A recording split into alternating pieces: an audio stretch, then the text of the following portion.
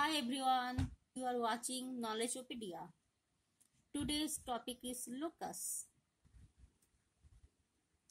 From exercise 14, I am going to solve this question which, which came in the year 2000.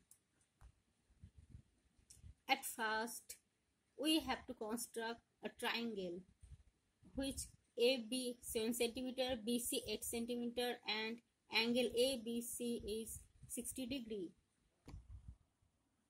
So let's start. It is the base of this triangle which is 8 centimeter.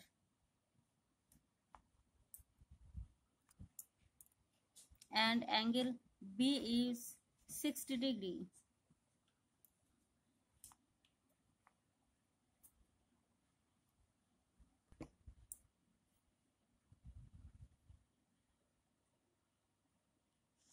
This is angle B 60 degree.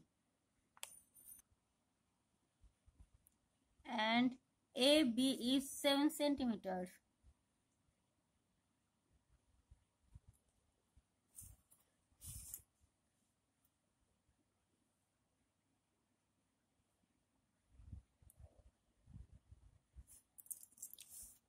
Here is the triangle ABC. Now we have to draw a locus of points which is equidistant from B and C.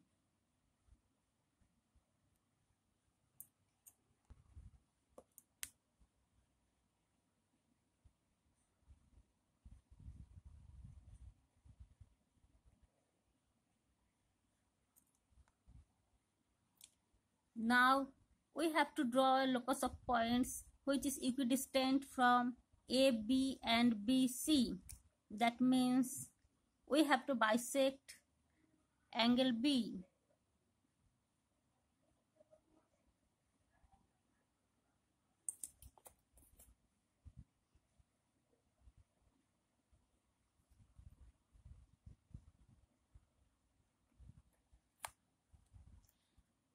These two lines meet at P.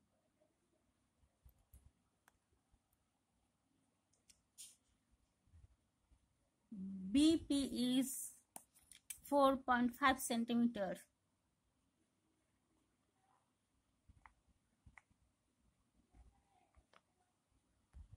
Thanks for watching.